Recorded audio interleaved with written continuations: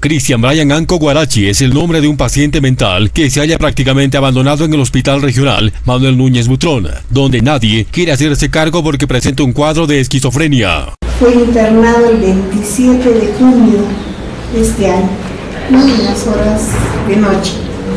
El paciente es un joven de 19 años que se encuentra hospitalizado en el servicio de medicina Alcama 31 como ustedes entienden, este es un hospital general de referencias, pero no tenemos una especialidad de psiquiatría, un pabellón exclusivo para ese tipo de pacientes. El paciente nació en Lima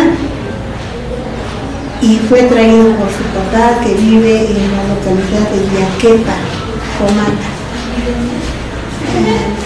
paciente, podemos decir desde el punto de vista social, paciente abandonado. Nadie quiere hacerse cargo del paciente, eh, sigue el tratamiento en forma continua, en forma completamente gratuita por el hospital. Eh, pese a tener CIS, el problema fue de que el paciente fue traído por la Fiscalía de Juli. El doctor Milton Vela quien lo hospitalizó y nos hizo llegar posteriormente una resolución, la 01 de, de, la Fiscalía de Juli, donde indica de que el Ministerio de Salud, Ministerio de Salud está a cargo de ese tipo de pacientes desde su inicio hasta su finalización. O sea, más o menos dando a entender que desde ese momento el hospital es responsable del paciente. Eh, se ha hecho una visita domiciliaria a la localidad de Yaquepa, del papá, pero el papá se niega rotundamente, incluso indica de que le han echado la culpa, que no es el padre y que no se puede hacer cargo del paciente. La misma población no quiere tampoco que vaya allá. ¿no? Ese paciente ha crecido prácticamente caldés la última vez que he estado es en la aldea San Martín de Porres, de acá de Puno, y al cumplir los 18 años ustedes saben que ya salen de esos hogares. Motivo por el cual entregaron al papá, el papá lo llevó a su localidad, hizo una gestión y lo entregó a la fiscalía para que lo pusieran en un albergue. La fiscalía lo puso en la aldea de la Virgen de las hermanas Teresa de Calcuta en Juli, donde según entendemos que el 25 de junio va a salir la resolución de la Fiscalía y hasta el 27 son días nomás que he estado ahí, les ha hecho destrozos a las hermanas, tengo entendido que a una le ha levantado la mano también, en una de las hermanas, motivo por el cual ellas van regresado a la Fiscalía. Y es así como llega al hospital. Hemos tratado de, buscar un lugar donde referirlo para su atención médica, pero lamentablemente nos hemos dado la sorpresa que nadie quiere recibir. Se ha hecho consultas a Tacna, Arequipa, Cusco, Lima, y si es que no hay una persona responsable del paciente, nadie lo quiere recibir porque el tratamiento va a ser, por decir, una semana, lo van a estabilizar no tienen que regresar a su, a su médico, ¿no? Entonces prácticamente es un paciente en abandono social.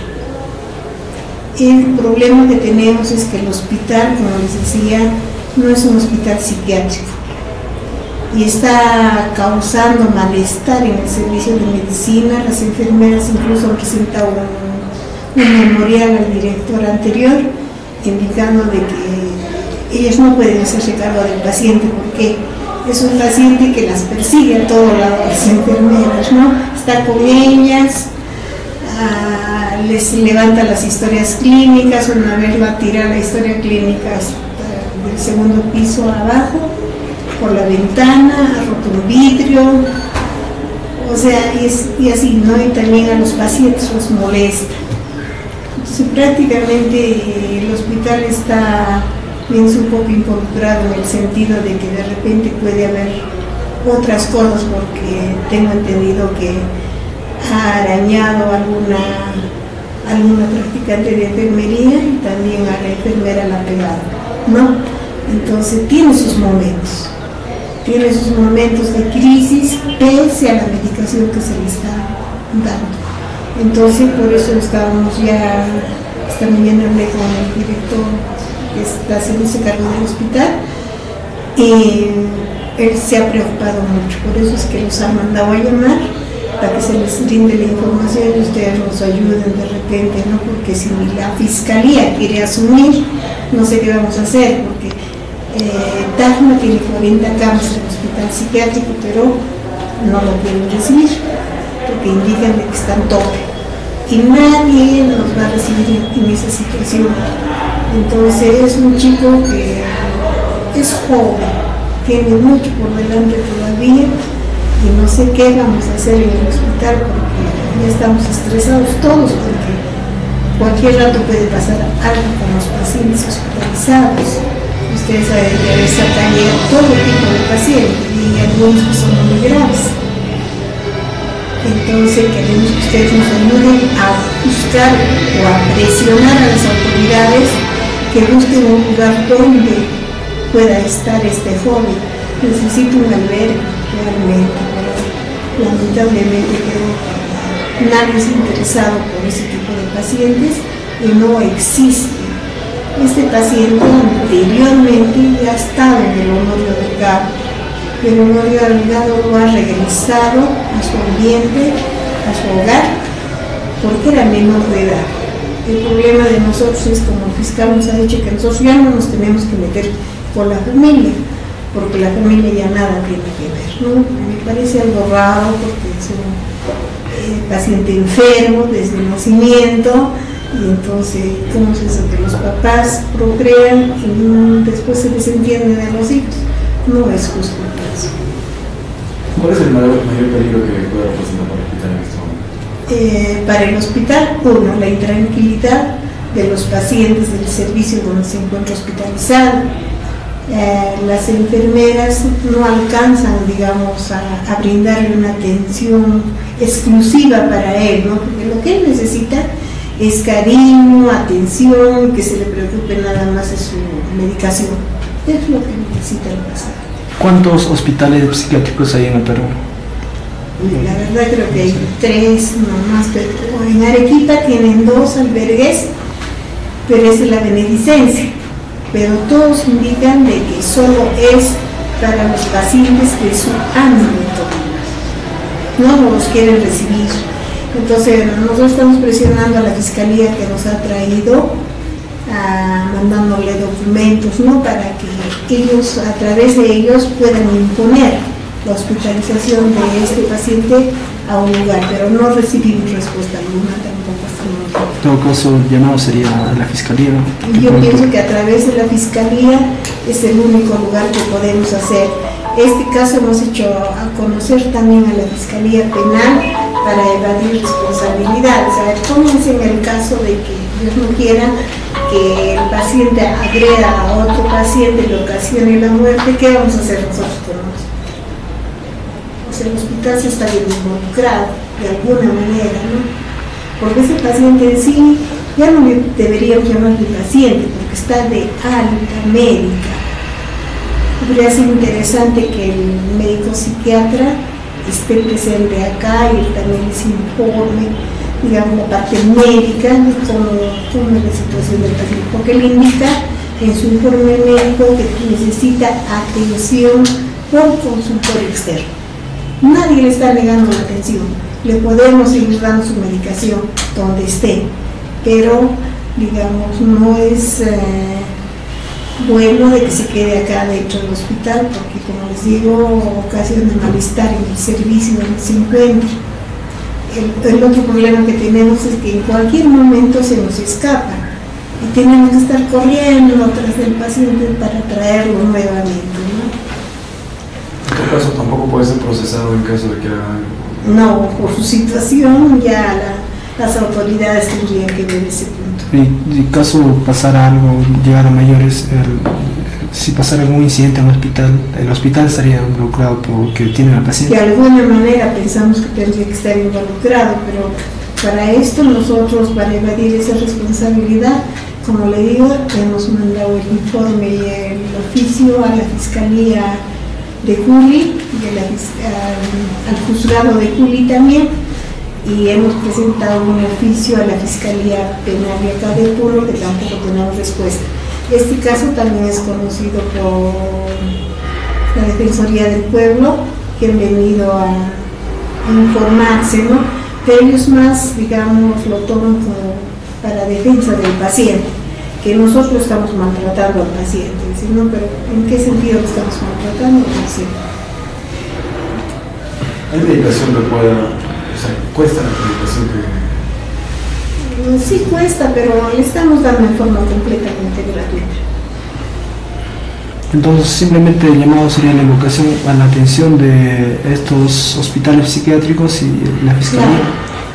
Claro. Es, es, es, lo que queríamos que nos apoyen en el sentido de que de alguna manera lo acepten al paciente en esos arterios que existe pero tenemos entendido que solo a través de un mandato judicial pueden aceptarlo a la fuerza, como que dice. ¿no? ¿Cuál sería la alternativa más?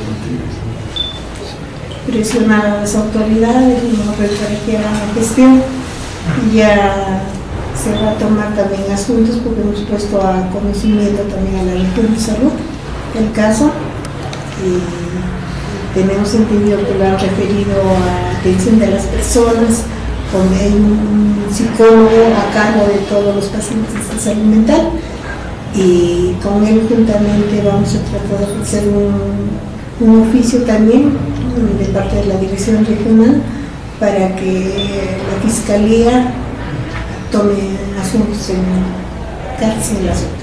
Una de las encargadas del cuidado del paciente manifiesta que el paciente causa malestar en las instalaciones del hospital, por lo que se ven obligados a tenerlo atado a una cama. Tenemos aquí camisas de fuerza, no tenemos y como ustedes verán está así amarrado.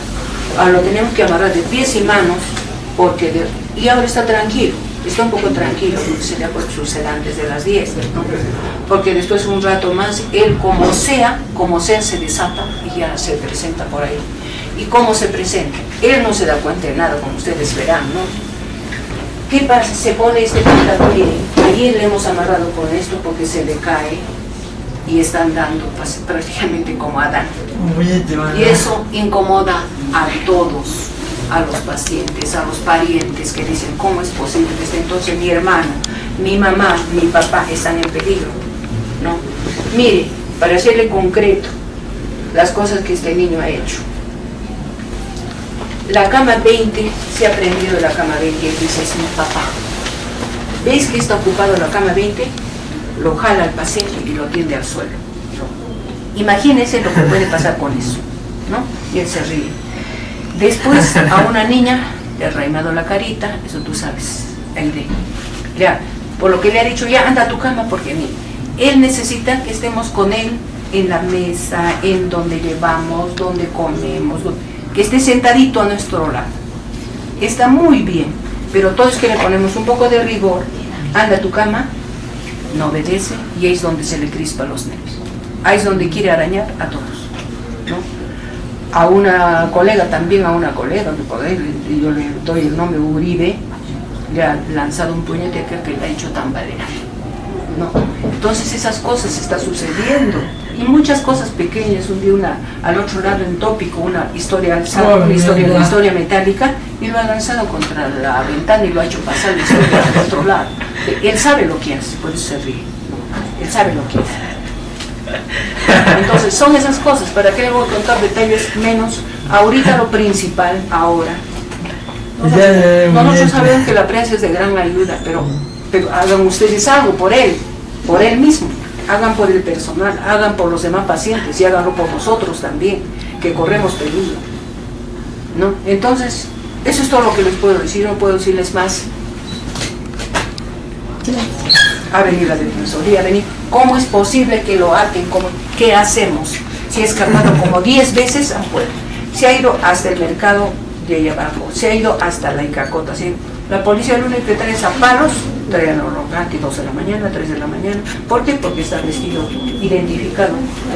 Ahora él cuando se le amarra, mire, necesita de un personal exclusivo, porque se le amarra y con justa razón se orina. Toda esa ropa es para llevarla abajo. Diario, diario moja así. Diario moja así. No tiene la culpa él. Dice, me amarra y me hago de todo, el 1, el 12 y todo me hago. A pesar que tiene baño privado. todo. Entonces, él en, en sí se venga de lo que lo amarramos. Él no se da cuenta de nada, es, es un niño. Mire, con sus juguetes juega. Cuando está bien, hace muy bien sus números. Mire cómo hace. Todo eso. Cómo hace, cómo trabaja. Entonces, no tenemos nosotros tiempo para atenderlo así, como lo hacen en un hospital. Él necesita. Aquí sabemos que hay en Lampa, hay en Moquehuas, que es un poco cerca, yo sé que hay. Hay en, en ¿qué se llama? En Juliaca. Bueno fuera que ustedes vayan a ver porque nos han dicho que hay un servicio de estos pacientitos. Pero ellos cuando se llama dicen, no, no tenemos. Entonces no sé labor de quién es, no es nuestra. Yo pienso que aquí hay labor, cada uno tiene sus labores. Ahora el director, el nuevo director, esperemos lo tenemos más de cuatro meses, más de cuatro meses aquí con esto. El técnico, al menos mi técnico, a fin de que no se escape, no haga cualquier cosa, porque alguna vez, hace años, se han ido por acá. Entonces, ya, le digo, ocúpate de él, y él lo quiere bastante, dice, es mi abuelo, a él le hace caso. Pero ahora tiene tanto que hacer el técnico que lo ha tenido que agarrar. Eso es todo lo que les puedo decir. No sé forma podrán ayudar, no sé, la verdad, no sé.